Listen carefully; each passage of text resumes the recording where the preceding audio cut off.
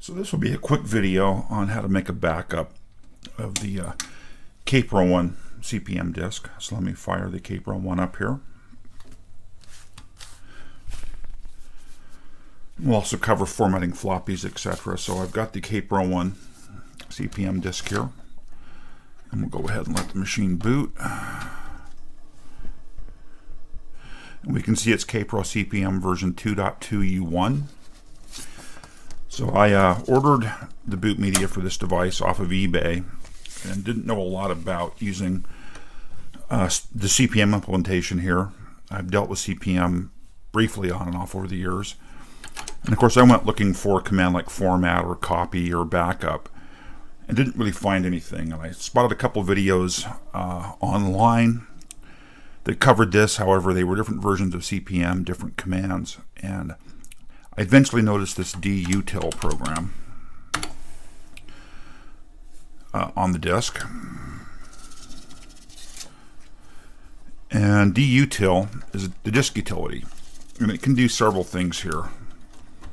It can, of course, copy a disk uh, from drive A to drive B, uh, including bringing CP/M across.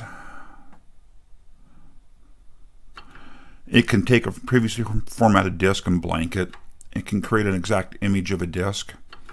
Sysgen is for uh, creating, uh, your, you know, CP/M customized, and just format a disk. So the disk I just put in drive B is already formatted. So I'm just going to pick the image option here. Sources in A, destinations in B, and we'll just let it run the image. Uh, and it's really, you know, that simple. Uh, the dutility uh, is really the diskette you know format and copy utility and this will just uh, run along here. Uh, copying track for track.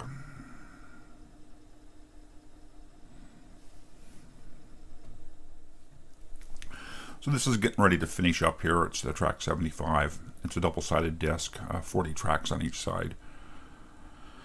Uh, so a total of 80 tracks which is why it's reporting it as you know track 78 79 and it's now copied that disk.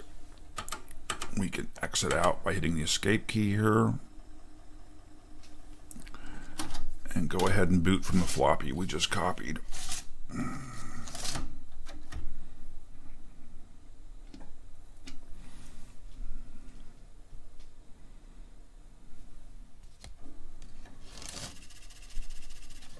And there we have it. We've um, made a copy of the floppy. You can, of course, use the image to image other disks. So you can put you know, any disk you want in drive A and make a, a copy of it, which is useful. So anyhow, this was a really short video. Uh, hopefully this will help somebody else uh, or somebody making a, you know, learn how to make a backup of their boot media. At least for the uh, Kaypro 1 CP/M version 2.2 U1. Anyhow, we'll talk soon. おおおおお。